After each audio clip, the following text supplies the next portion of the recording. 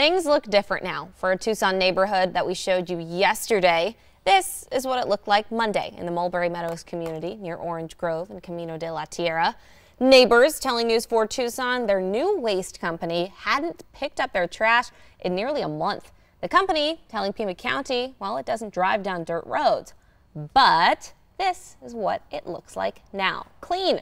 Pima County officials tell us that the Right Away Disposal Company contacted them Wednesday morning saying everything had been taken care of. The county had given the company until the end of the week to pick up the trash.